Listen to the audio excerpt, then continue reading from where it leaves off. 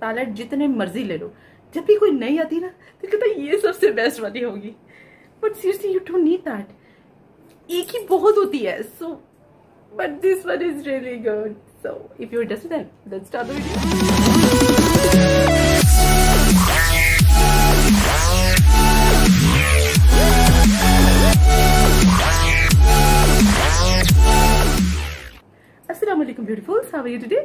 know in the comment section that how are you doing today so in today's video I have a gift मैं खरीदी नहीं है a gift of BH Cosmetics eyeshadow palette from my good friend जिसने मुझे lipstick send की थी आपने अगर मेरी प्रीवियस वीडियो नहीं देखी तो do check that videos so आज की वीडियो में हम उसकी आईशेडो पैलेट पर रिव्यू करेंगे ट्राई करेंगे and if you don't want to buy buy it because but it is good seriously seriously I never thought I would try a BH Cosmetics eyeshadow palette इनकी palettes का मज़ेदार बात ये होती है that they always come in a combos ठीक है ना टीना योंग एक यूट्यूबर है she has a collab with uh, BH Cosmetics और उसकी पैलेट भी बहुत खूबसूरत थी ये बकरी ऐसे ही बोलेगी anyhow so first you get uh, contours then you get highlighters और इसके ऊपर एक कवर प्लास्टिक लगा हुआ है so that's why it's shining too much उसके बाद है जी ये है जी आई शेड्स सो क्या है कि let me just show you its close look ऐसे नहीं मज़ा आ रहा go and watch the close look अगर बीएच कॉस्मेटिक की आपकी कलेक्शन में आई शेडो पैलेट नहीं है तो कुछ भी नहीं है because they palettes are so versatile एक तो इसकी आउटर पैकेजिंग है जिसको मैं उतार देती हूँ उसके बाद इसमें इस तरह पार्टीशन हुई है. दीज आर कॉन्टोरिंग पार्ट्स ये कॉन्टोर के लिए यूज़ हो सकते हैं. This can be also use for eyebrows as well by the way इसको कहते हैं brownie bite this is mocha and this is chai हाँ थोड़ा सा वो आ रहा है रिंग लाइट का. तो करीब से दिखाती हूँ these are French toast radiant and moonlight these are the highlighters and then again इसको ओपन करने पर यू गेट मिरर और इसके ऊपर भी एक सेफ्टी फ्लैप जो है वो यहाँ पे लगा हुआ है।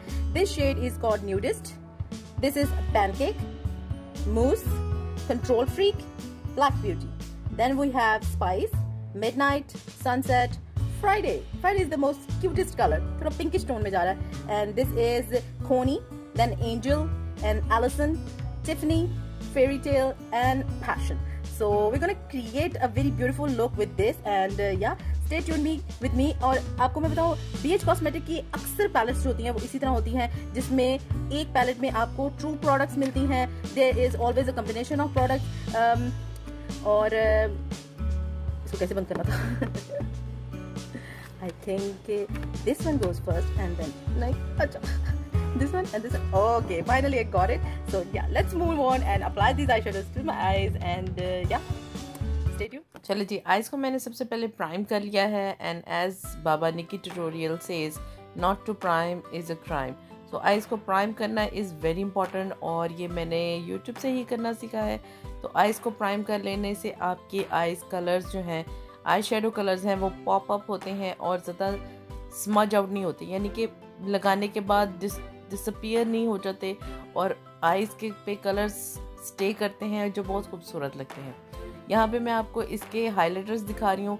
बहुत ही nice subtle but they give a very good shine सबसे ऊपर वाला कलर जो है वो थोड़ा सा वाइट गोल्ड सा है। फिर दरमियान में पिंक गोल्ड है और उसके बाद एंड में थोड़ा सा ब्राउनिश येलो गोल्ड है।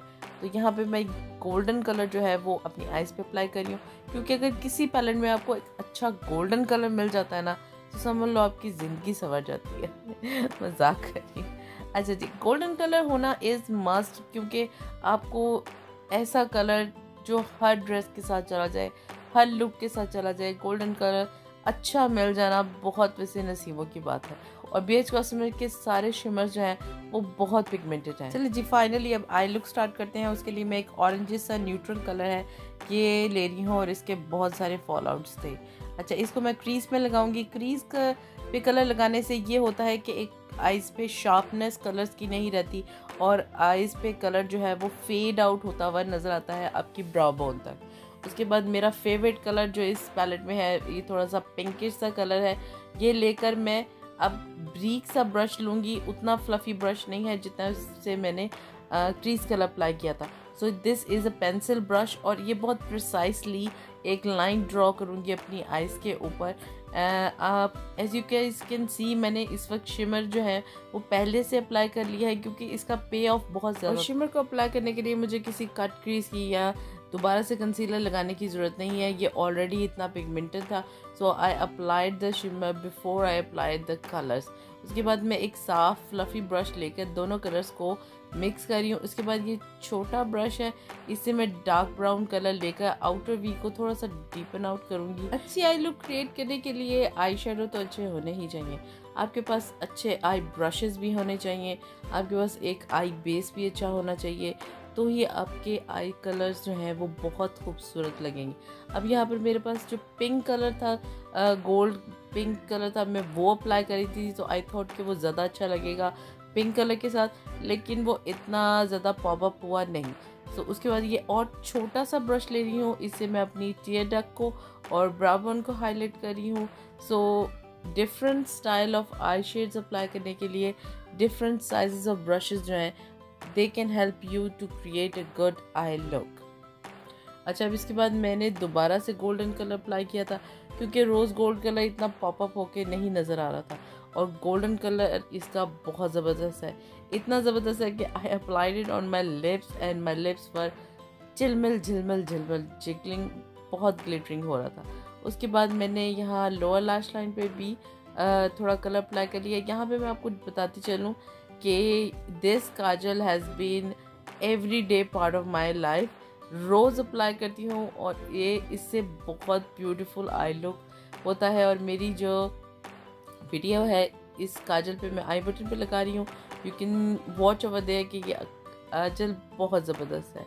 उसके बाद यहाँ पे तकरीबन मेरा फेस लुक जो है वो कंप्लीट हो गया है। पर मैंने यहाँ पर फाउंडेशन अप्लाई नहीं की हुई I did not do my rest of the makeup क्योंकि उसके लिए आपको मेरे वीडियो के साथ बने रहना पड़ेगा। You need to subscribe my channel क्योंकि कल की वीडियो में आपके साथ शेयर करने वाली हूँ एक awesome foundation don't buy it because but it is good cosmetic brand